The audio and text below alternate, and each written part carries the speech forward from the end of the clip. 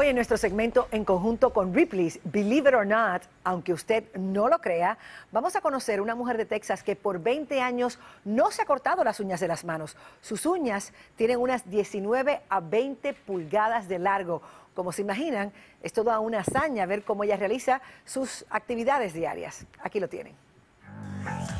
Viajamos hasta Houston, Texas para presentarles a Yanni Williams, mejor conocida como la dama de las uñas más largas.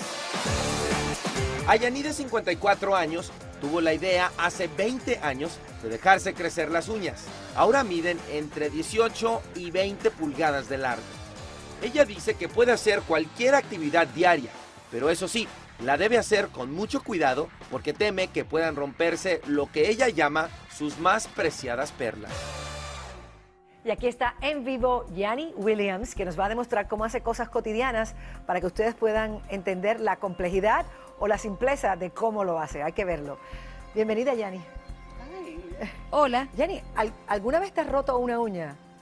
Uh, Casi nunca pasa, pero sí sucedió. Mi esposo me aplastó una, por eso es mi ex esposo ahora. Muy bueno está eso, muy bueno. Yanni, eh, muéstrame cómo tú, por ejemplo, haces para tomar un vaso de agua. Show me how you drink a glass of water. Es muy simple. Esta mesa es pequeña.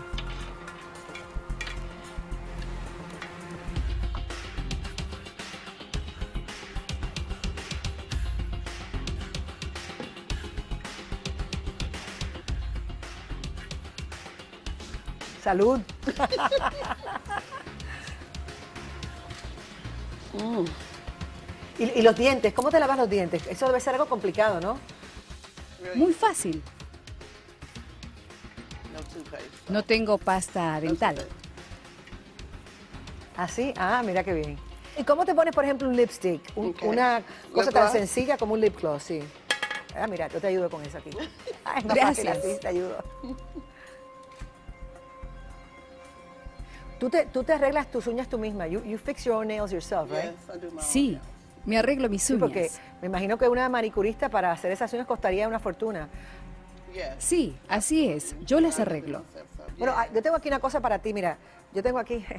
¿Is this enough? ¿Esto es suficiente? No es suficiente para nada. Necesito como dos o tres botellas. ¿Dos o tres botellas? Increíble. Muéstrame cómo lo hace.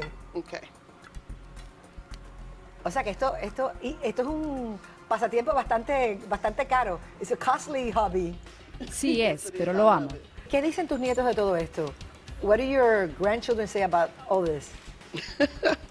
A ellos les encanta hasta que me tienen que ayudar a trabajar, hacer las tareas como lavar platos, entonces no les gusta. ¿Y, no, no, sueñas con algún día cortártelas? Don't you ever dream about ever cutting them? That's a nightmare.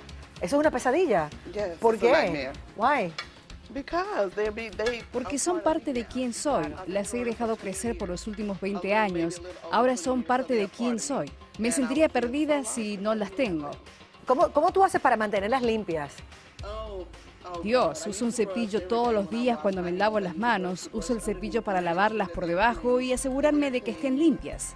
Give me five, you're a great woman. Choca la mano, que tú eres tremenda mujer. Muchas gracias, Yanni, por estar con nosotros. Y sobre todo, gracias a Ripley's Believe It or Not, que durante todo el mes estamos presentando a sus personajes más locos que están incluidos en su nuevo libro.